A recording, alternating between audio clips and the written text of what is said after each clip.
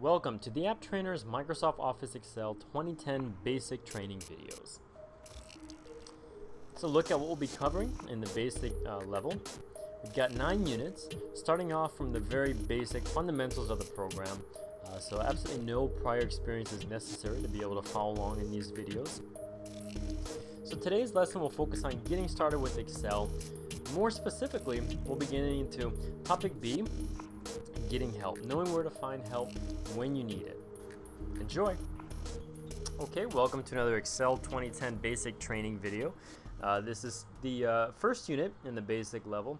So we're still starting with the fundamentals here. In this unit, we're going to look at uh, the help system in Excel 2010 and there's primarily two ways that help can be accessed in Excel 2010. And you're going to find this whether you're using Excel, Word, PowerPoint, Access, any of the uh, Office programs. It's always going to be in the same place, and that's up here in the top right-hand corner uh, of your interface. It's the blue question mark.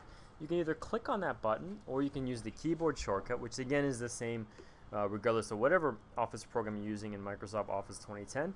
That's the F1 key on your keyboard, usually next to the Escape uh, button on your keyboard. So either method will bring up this home menu, uh, the help home menu, and you're going to see um, your navigation controls across the top. Looks a little bit similar to maybe an internet browser. You've got your back, your forward, stop, refresh, home, print, and a couple other options up here. You've also got your your search box, and this will allow you to search by topic. So say for example, you know maybe you're uh, you want some more information on charts, how to, how to set up uh, your Excel charts, maybe how to uh, get them working, what charts are available, so on and so forth.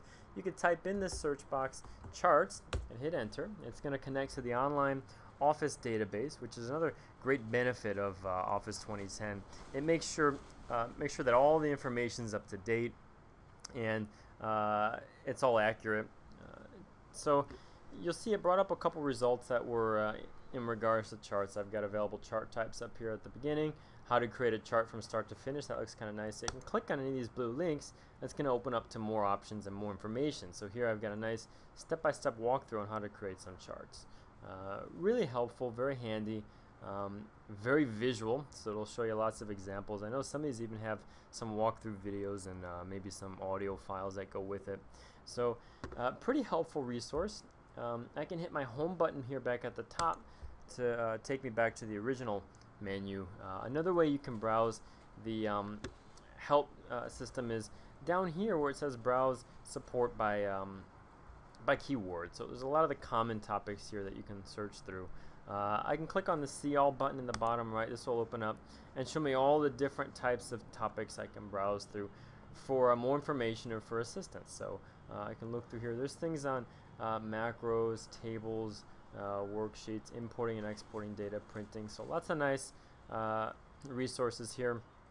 We'll be getting into all these topics as well in my training videos.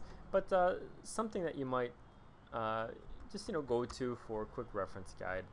Um, and once you're done, you can either print them with a button up here on your navigational controls, or you can simply close the menu in the top right. So we're going to leave it at that with this video.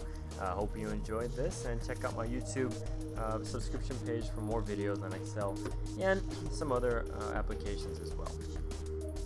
Thanks for watching.